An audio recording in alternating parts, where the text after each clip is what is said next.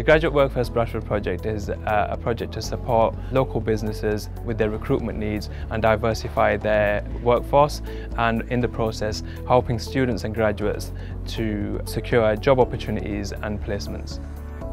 We've got students working with us, we've got employers on board. We've got, we've got 12 different partnerships working with, with the University of Bradford to support the project and we're supporting some of the work that they're doing to improve diversity within local organisations.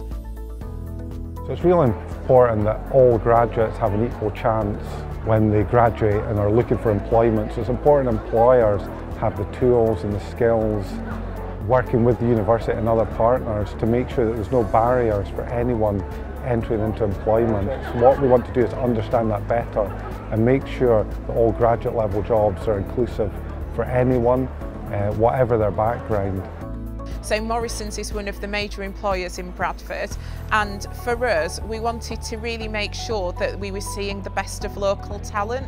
Young people in the local area didn't know that we offered graduate or degree apprenticeship programs and so working with graduate workforce meant that we were able to tap into the students that were here at Bradford University and highlight to them the opportunities that we had as one of Bradford's main employers and be able to offer them opportunities that they maybe wouldn't have considered previously.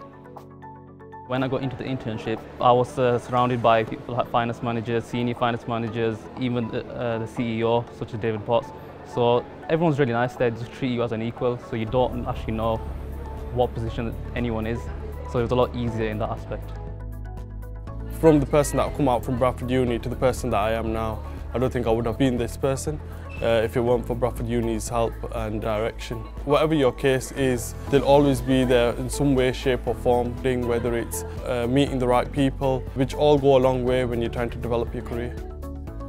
The collaboration with Graduate Workforce Bradford has been amazing. It's helped us increase our understanding of inclusion and promote the diversity advantage. The partnership has worked so well and it's something that we'll look to do again in the future.